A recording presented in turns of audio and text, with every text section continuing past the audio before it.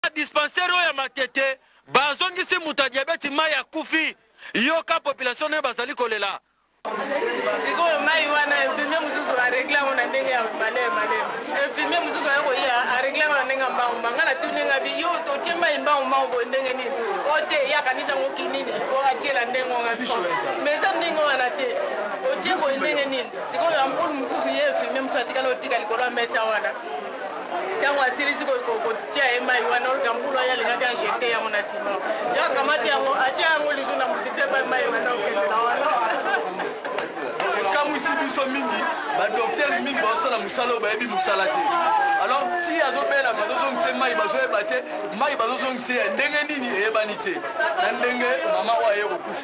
bino ba docteur botalaka na misala bino bosala ya malamu soki na malamu te botika kosala misala po moto ake kaka pamba boye tosengi na ba docteur biso te motu tokopesa bino conseil boyebi nayo mosala ezalaka